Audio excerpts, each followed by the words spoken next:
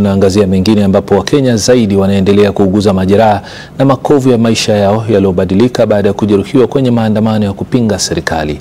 Daniel Mageka kutoka Kisii ni mmoja wao na kwa sasa amesalia akiuguza majeraha baada ya kujeruhiwa na kutoa, uh, kitoa machozi uh, kwenye maandamano hayo. Crispin Otieno anaarifu zaidi.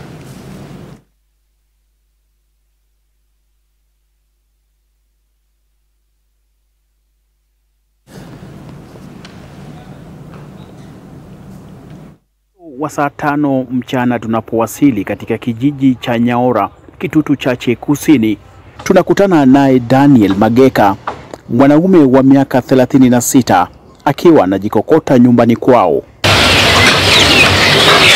Maisha ya Mageka anayeonekana kuwa mwenye maumivu tele yalibadilika ghafla tarehe 25 mwezi Juni aliposhiriki maandamano ya vijana mjini Kisii. Jeraha alilopata baada ya kulengwa na kitoa machozi likimwacha na makovu. Ndipo walirusha diagasi ikanifikia kwa mguu, ikanipiga, ikaniumiza.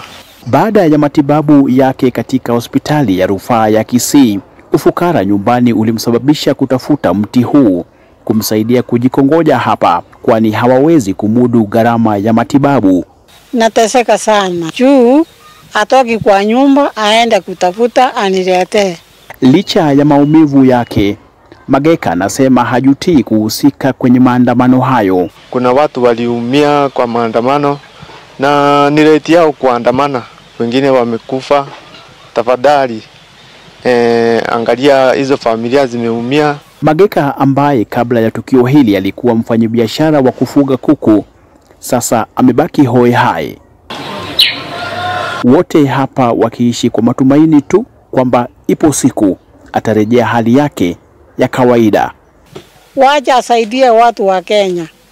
Huyu mtoto yangu ameenda hospitali mpaka pesa alikuwa nayo imeisha. Kufuatia maandamano yaliyoshuhudiwa mnamo tarehe 25 mwezi Juni, familia ya Daniel ni moja familia ambazo zimeathirika pakubwa, sasa ikitaka serikali kufanya juu chini kutosahau wale walioathirika kutokana na maandamano yaliyoshuhudiwa maeneo mbalimbali nchini.